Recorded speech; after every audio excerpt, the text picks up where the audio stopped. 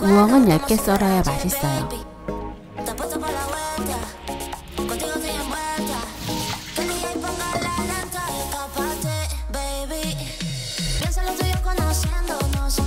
여기서 나온 수분은 그대로 팬에 같이 넣어서 졸여주시는 거예요.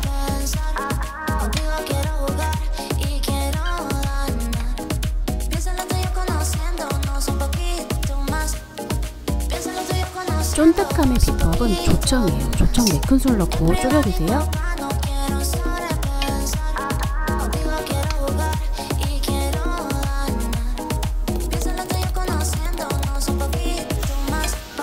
참 그릇에 담기 전에 꼭 펼쳐서 식힌 다음에 담아두셔야 뭉치지 않아요.